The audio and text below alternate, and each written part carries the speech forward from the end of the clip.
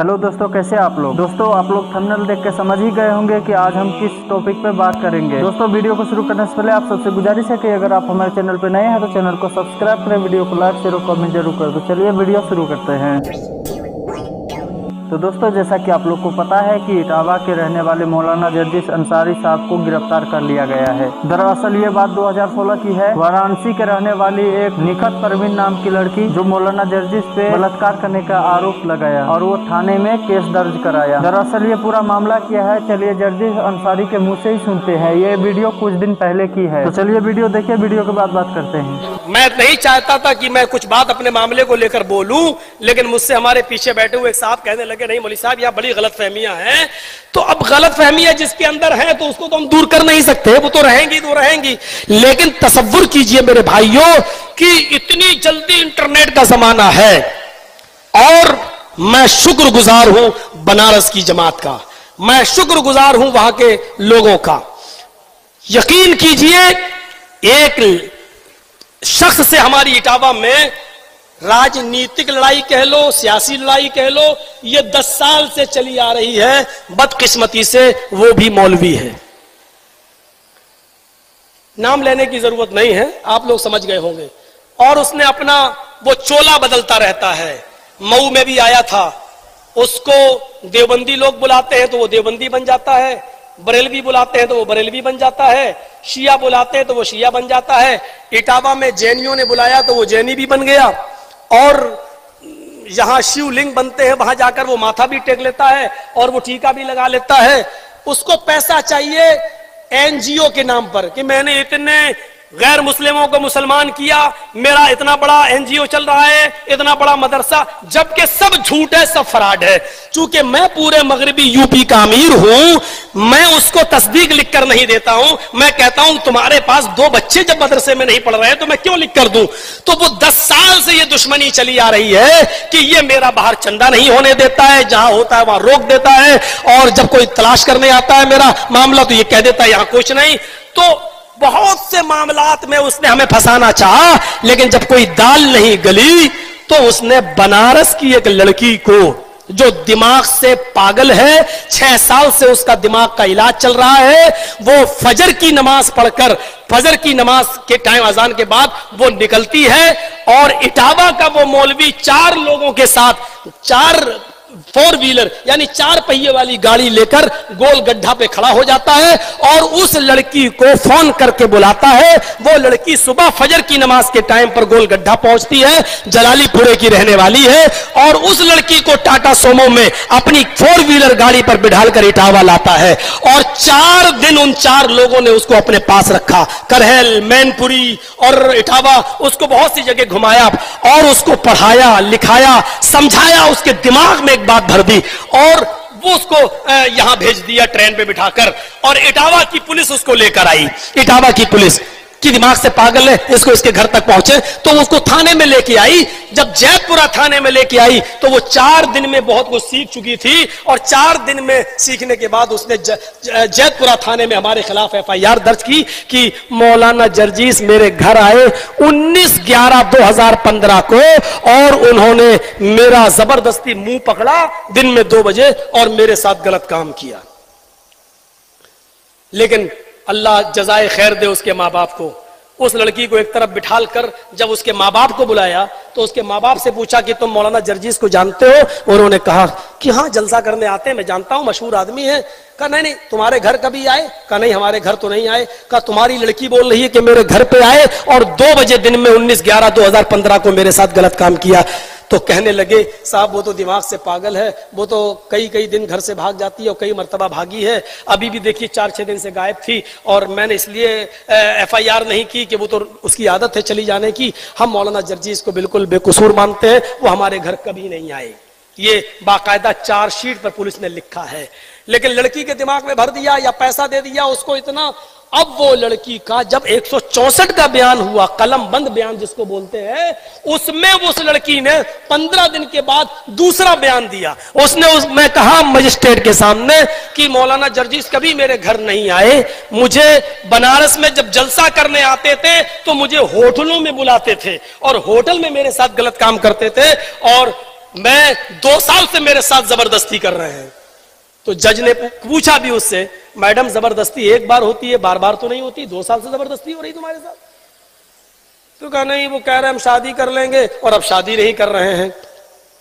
तो बस इस बयान को लिखकर उसने जैतपुरा थाने को अलर्ट कर दिया कि आप जो है तफ्तीश करिए, कौन सी होटल थी, कौन सी। अब लड़की से पूछा जा रहा है कि कौन सी होटल थी, किस होटल में तुम गई हो, दो साल से तुम होटल जा रही हो तो लड़की का बयान है जो चार्जशीट पर लिखा हुआ है कि मैं होटल जानती नहीं हूँ, पहचानती नहीं हूँ, और अगर मुझे होटल तक ले जाया गया तो मैं होटल पहुँच भी नहीं पाऊँगी। मैं अरे, दो साल से तुम जा रही हो तो होटल नहीं। कहा, नहीं, मैं नहीं जानती होटल कौन सी थी, मैं भूल गई फिर उस लड़की का मेडिकल कराया गया। तो मेडिकल में साफ़ तौर पर आया नो लाइव एंड डेड स्पर्मसिन जो हमारी चार्जशीट पर लिखा हुआ है, और आगे भी लिखा है नो इंटरनल एंड एक्सटर्नल ना उस लड़की के अंदर कुछ हुआ, ना बाहर, यानी वो शादी से पहले जैसी थी, वैसी ही है उस लड़की के साथ कुछ नहीं हुआ। लेकिन मैं अरेस्ट स्टे ले चुका था इन तमाम आधार पर लेकिन मुझसे मेरा वकील बोला, इतना ज़बरदस्त ग्राउंड, लड़की एफआईआर में कुछ बोल रही है और एक में ये बोल रही है, होटल का पता नहीं, मेडिकल में, अरे तुम्हें तो खड़े खड़े बेल मिल जाएगी। आ जाओ तुम, कौन है? अरे कैसे तुम चले जाओगे जेल के अंदर?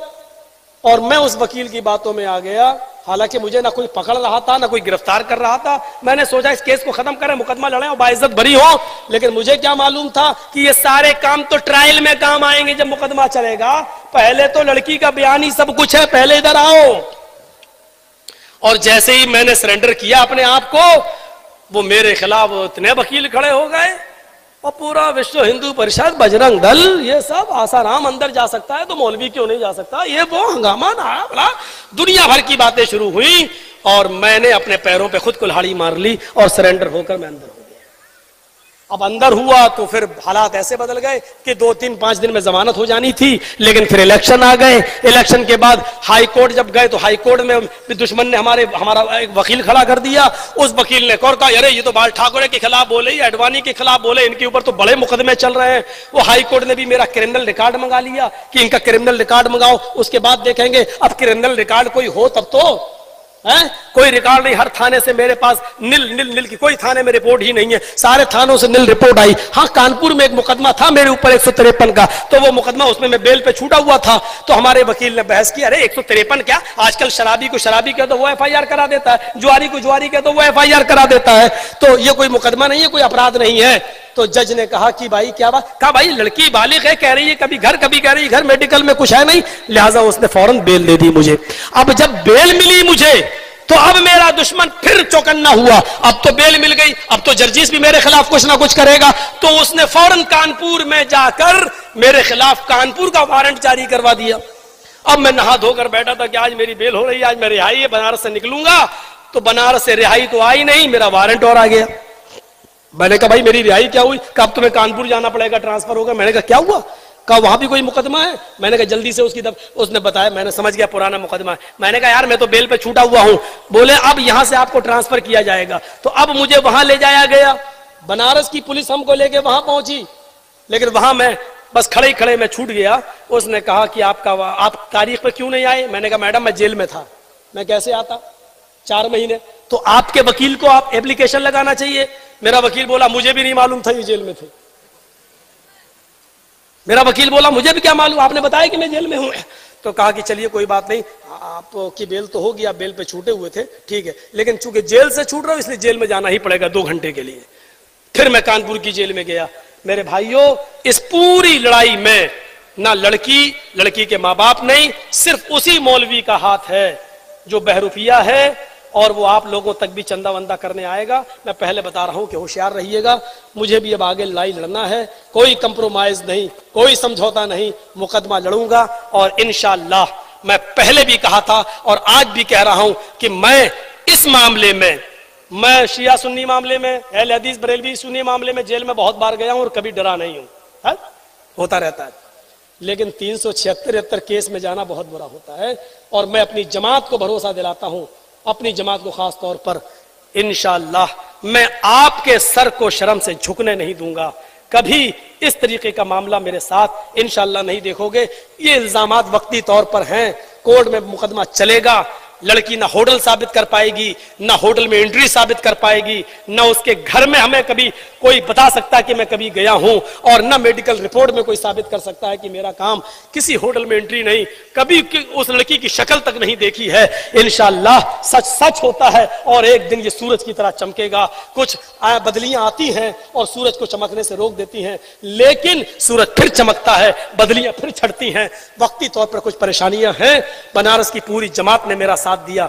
कल का जलसा भी बनारस में ही था मेरा, जलालीपुरे में। उसी मोहल्ले में, जिस मोहल्ले का ये मेटर है। लेकिन हमने एक दो मौलाना का वहाँ से फ़ोन आया मेरे पास, बेटा, मैं तुम्हारे साथ हूँ, लेकिन अभी जलालीपुरा थोड़ा छोड़ दो, क्योंकि यही का मामला है। लोग ये कहेंगे कि मौलाना जर्जीस को इतनी जल्दी क्या है, उसी मोहल्ले में घुसने की। बेटा बाद में एक महीने की बात कर लेना, उनकी बात मुझे भी समझ में आई और मैंने उस जलसे को मुलतवी कर दिया। अब वो रमज़ान की शब, कदर में पहुँच गई। तो दोस्तों, जैसा कि आप लोग सुन रहे थे कि मौलाना जर्जिस साहब क्या बोल रहे थे, कैसे मौलाना जर्जिस साहब के खिलाफ साजिश करके इनको फंसाया गया तो कैसे एक मौलवी अपनी जाति दुश्मनी निकालने के लिए मौलाना जर्जिस साहब के खिलाफ झूठी साजिश रची और मौलाना जर्जिस साहब को फंसा दिया। मौलाना जर्जिस साहब का जितने भी आने वाले हैं, सबका यही कहना है की अगर वो दोषी है तो अल्लाह तबारक वाली उनको ज़रूर सजा देगा और अगर वो निर्दोषी है। तो चाहे हज़ार बार दुनिया की अदालत उनको सजा दे, उसको रिहाई ज़रूर मिलेगी। तो दोस्तों, आप इस मामले में क्या सोचते हैं, कमेंट बॉक्स में ज़रूर बताएँ। और अगर हमारे चैनल पर नए हैं तो हमारे चैनल को सब्सक्राइब करें, वीडियो को लाइक, शेयर और कमेंट ज़रूर करें। तो मिलते हैं अगले वीडियो में। जय हिंद।